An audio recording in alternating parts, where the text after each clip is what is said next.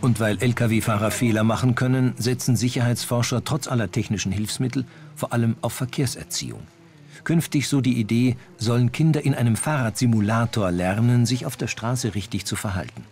Der große Vorteil, hier können Kinder für sie gefährliche Situationen durchleben und trainieren, ohne wirklich in Gefahr zu geraten. Und das so realistisch, dass sogar Verkehrspolizisten beeindruckt sind.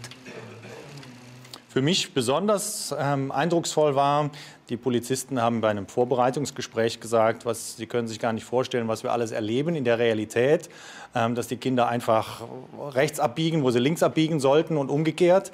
Ähm, und genau einen solchen Fall hatten wir selbst hier im Simulator. Ja, ein Kind wusste ganz genau, es sollte eigentlich da links abbiegen, was macht es, fährt rechts ab. Noch allerdings fehlen andere Verkehrsteilnehmer wie Autos und Lkw. Die sollen bald ins System programmiert werden. Dann, so die Hoffnung, hilft der Simulator, Kinder vor Lkw zu schützen.